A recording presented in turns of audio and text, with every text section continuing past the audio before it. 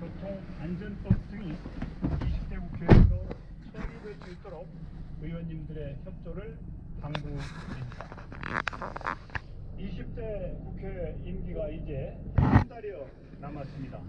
지난 4년간 이동한 동에 있어주신 의원님 여러분께 깊이 감사드리며 이번 임시국회에서 유종의 미를 거둘 수 있기를 바랍니다. 마지막으로 코로나19라는 초유의 사태에도 흔들리지 않고 위대한 대한민국의 역사를 만들어 가시는 국민 여러분께 대한민국 정부를 대표해 깊은 감사의 인사를 드립니다.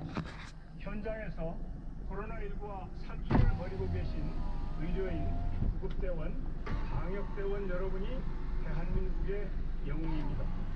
착한 임대료, 헌혈 챌린지, 릴레이 기부, 철저한 자가격리에 앞장서고 계신 국민 여러분이 대한민국의 영웅입니다.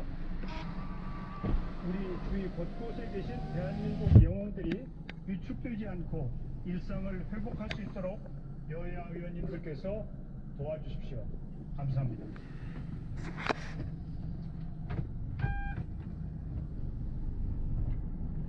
네, 지금까지 정세균 국무총리의 시정연설 전해드렸습니다.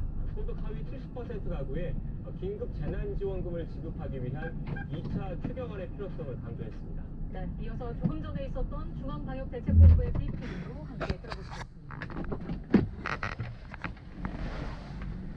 코로나 바이러스